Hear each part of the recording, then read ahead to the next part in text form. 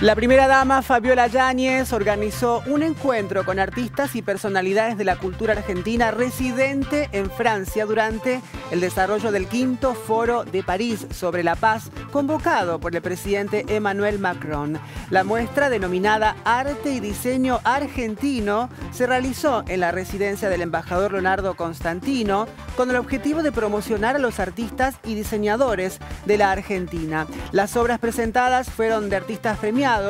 por el Salón Nacional de Artes Visuales, un prestigioso certamen que organiza el Palais de Glass desde 1911 de manera ininterrumpida con el fin de destacar las obras de los artistas argentinos.